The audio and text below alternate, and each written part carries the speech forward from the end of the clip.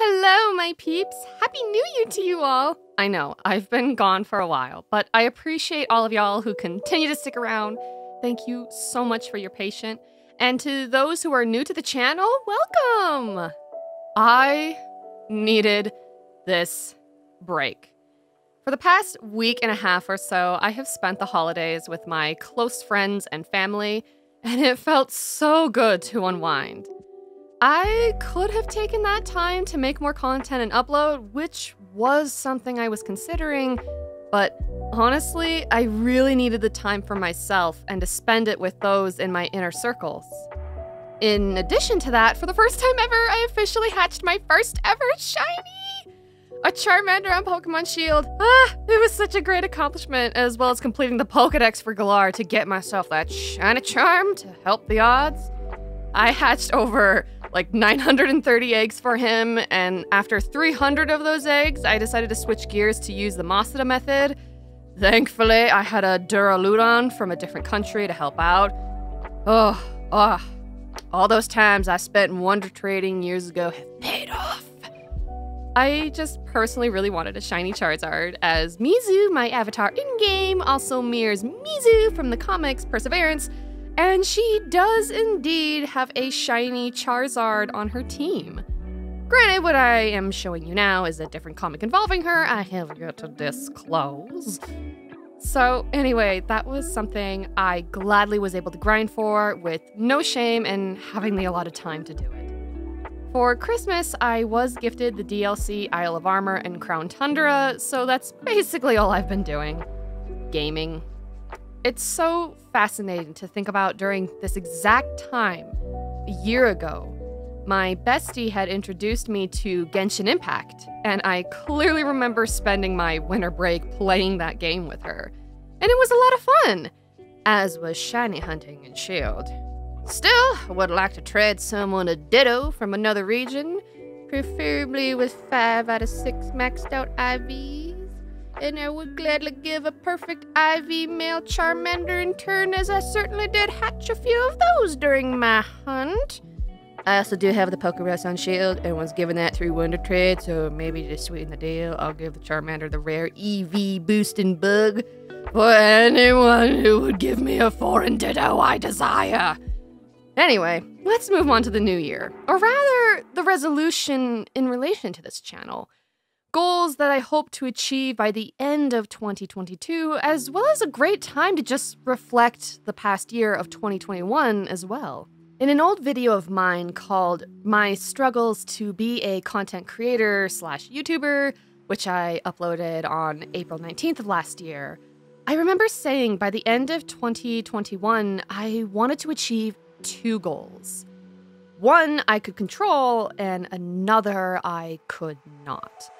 One was being able to upload at least once a week, and the other was to double my subscriber count, which at the time was 35, so to 70. Granted, being only a third of the 2021 year in, I still consider that video a small staple as what my goals were, specifically for this channel. Since then till now, have I achieved those two goals?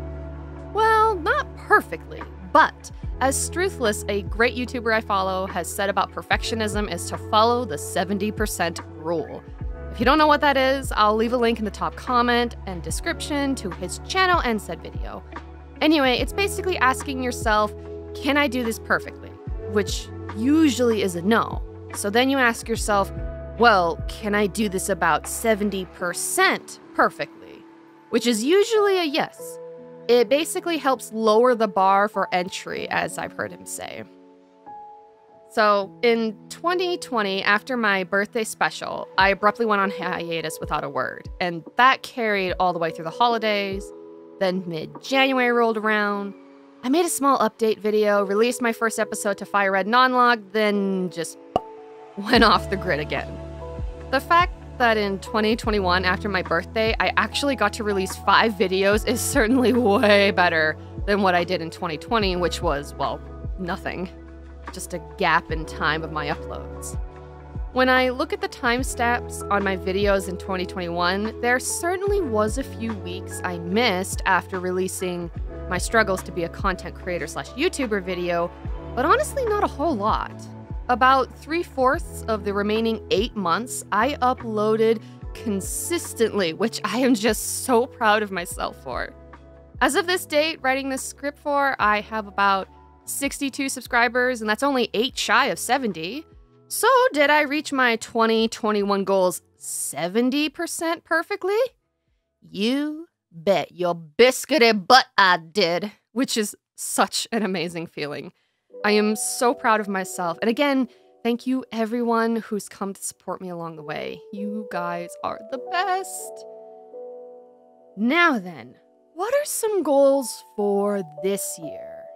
For 2022? Well, one, I would like to keep my upload schedule of once a week if I can. It would be nice to see a full year where I uploaded at least once in all 12 months. There are no 2021 February and March videos. So, let's look forward to making some 2022 ones. I'll admit, I wish I could increase the frequency of my uploads. However, currently that's just not feasible at this time. I know, I know. Y'all are just craving for some more Kemi shenanigan filled content, which I will try to deliver. Another goal I have in mind is to collab more, whether it be with close friends or reaching out to other YouTubers. I would enjoy setting up a game we could all play, or something to that degree where we just all have fun. Currently, I am thinking about making some type of like Scribio Pokemon battle, and I feel like that'd be fun just because I'm a Pokemon fanatic. I don't care. It was my childhood, and it's still carrying on. And I am thinking about maybe some type of co op Genshin down the road, but I haven't ironed out all the details yet. But yes, collabs. Even if I do just one this year, consider my goal met. So there we have it. Keep on with a consistent upload schedule and collab with others. I personally don't like making New Year's resolutions big or grandiose. Grandiose? Grandiose? I think it's grandiose, but you know, I just gotta butcher the English language, it's fine. Anyway, I feel the simpler it is, the better. Something that's manageable, and after saying it, I can then break up the said goals into feasible steps I am able to take along the way. So please tell me in the comments below what are some of your New Year's goals and resolutions? I would love to read and interact with y'all. When I think about resolutions or goals, I also think about some dreams I have for this channel. Things that may very well be years down the road or possibly closer than I'd ever guess. One of them being VidCon. It would be a dream to be invited to VidCon.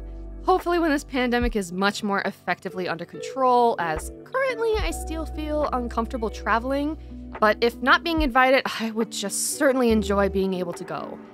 I personally have never gone to a convention out of state before in my life, but oh boy, am I ready to do so.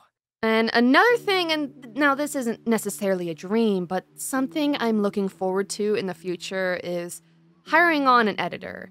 I love making my videos, but editing is what takes up most of my time.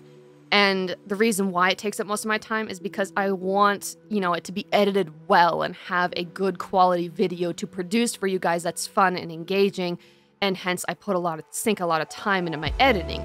However, I know there are people out there who can edit way more efficient and effectively than I. So, by hiring on an editor, I'd be able to batch content a lot more and very possibly in due time increase the frequency of my uploads. Even though, yeah, I'm not monetized yet and I don't feel it's something I can budget for at the moment, however, it is something I'm looking forward to. Until that time, I just need to keep on keeping on. Mm, just gotta keep looking towards the future.